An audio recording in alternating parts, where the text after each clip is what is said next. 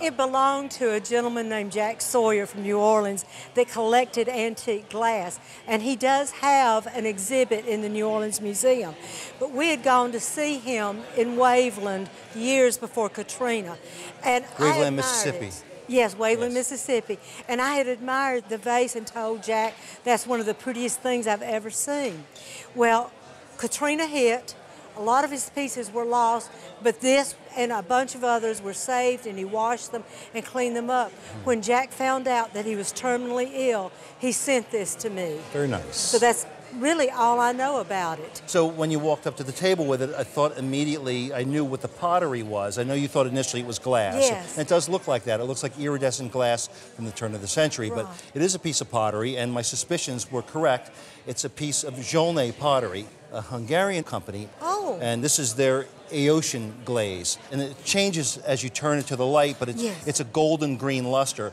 But what's really special about this, because the vase itself is okay as far as Zsolnay goes, but the mm-hmm. metalwork is rather exceptional. And so we have two full peacocks on the piece encircling it. Their tails end in a base that covers the entire bottom, and then there are glass tiles inset to look like the eyes of the peacock feathers. Is this a metal base? It is. I It's- thought it's, it again, was. The, the research I did said it was gilded pewter. It's also marked. It's marked Orion and 272, which is the shape number.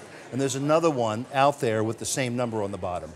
So I did a little bit of research. It turns out this is a collaboration between a Hungarian Art Nouveau company and a German Art Nouveau company. Oh. Orion was located in Nuremberg, Germany. They were only in business for three years, 1903 to hmm. 1906. They were bought out by a competing company in 1906. George Schmidt was the artist who worked this piece. So you have an Art Nouveau design in the German style, which is called Jugendstil.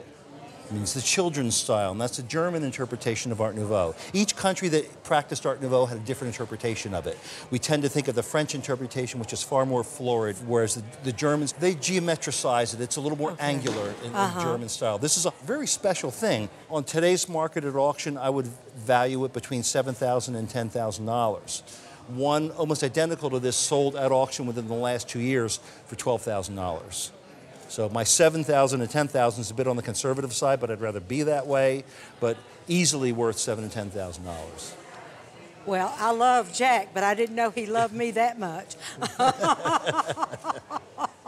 oh my gosh. I, well, I can't even think now. Oh gosh. Well, David, you have taken my breath away. You absolutely have.